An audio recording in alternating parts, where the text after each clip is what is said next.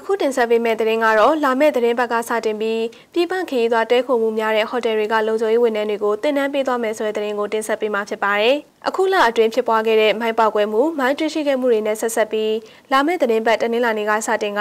ပြည်ပခရီးသွားတွေတဲခုသွားလာမှုများပြတဲ့ဒေသတွေမှာရှိတဲ့ဟိုတယ်လုံခြုံရေးဝန်ထမ်းတွေကို လုံခြုံရေးဆိုင်ရာတင်နန်းတွေပေးသွားဖို့ရှိရလို့မြန်မာနိုင်ငံရဲတပ်ဖွဲ့ဌာနချုပ်မှရဲချုပ်စုံဝင်းကဆိုပါရယ်။အခုလိုတင်နန်းပေးမှုတွေကိုအဓိကအနေနဲ့ရန်ကုန်မန္တလေးအင်းလေးနဲ့ပကန်းစားတဲ့ဒေသတွေမှာရှိတဲ့ဟိုတယ်တွေကိုအဓိကထားဆောင်ရွက်မှာဖြစ်ပါတယ်။ဒါအပြင်အဲ့ဒီဒေသတွေမှာတပ်ဆိုင်ရာဝန်ကြီးဌာနတွေနဲ့ပူးပေါင်းပြီးလုံခြုံရေးဆိုင်ရာနည်းပညာပစ္စည်းတွေတိုးမြင့်တက်ဆင်သွားဖို့လည်းရှိရလို့မနေ့ကပြုလုပ်ခဲ့တဲ့သတင်းစာရှင်းလင်းပွဲမှာရဲချုပ်စုံဝင်းကပြောကြားခဲ့ပါတယ်။လုံခြုံရေးဆိုင်ရာနည်းပညာပစ္စည်းတွေတိုးမြင့်ဆောင်ရွက်ဖို့ကိုလည်းလာမယ့်လအတွင်းမှာ ငွေကျပ်6ဘီလီယံဘိုးသုံးဆွဲပြီးနည်းပညာအထောက်အကူပြုပစ္စည်းတွေဝယ်ယူတက်ဆင်သွားဖို့ရှိရလို့သိရပါတယ်။ဒါအပြင်လူအင်အားနဲ့လုံခြုံရေးဆောင်ရွက်မှုအပိုင်းအတွက်လည်းတိုင်းနယ်ပြည်နယ်အသီးသီးမှာဘုံရှင်းလင်းရေးအဖွဲ့တွေဖွဲ့စည်းဆောင်ရွက်ဖို့စီစဉ်ထားရှိတာဖြစ်ပါတယ်။အဲဒီလိုစီစဉ်မှုတွေဒါမက